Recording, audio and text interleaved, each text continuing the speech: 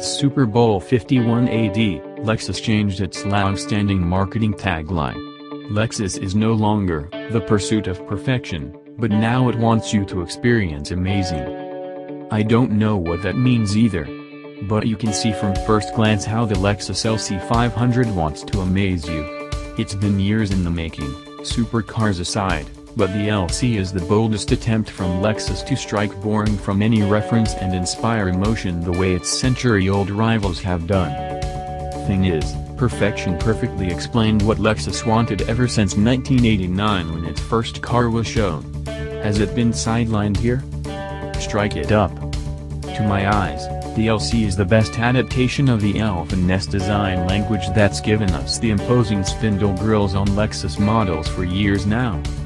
Admittedly, that's slightly damning with faint praise, because while the new coupe is certainly striking, it's far from the cleanest design. Big, expensive coupes tend to promote grace and with its intricate grille detailing and slashes everywhere, the Lexus is comparatively gimmicky.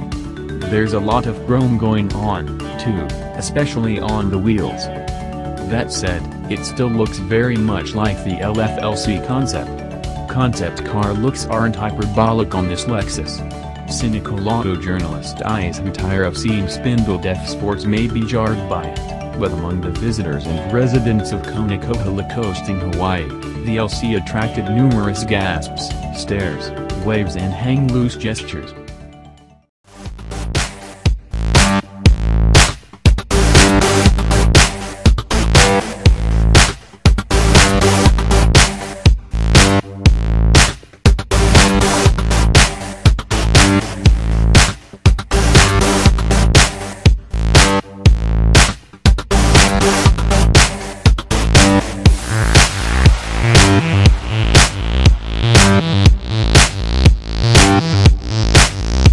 Thank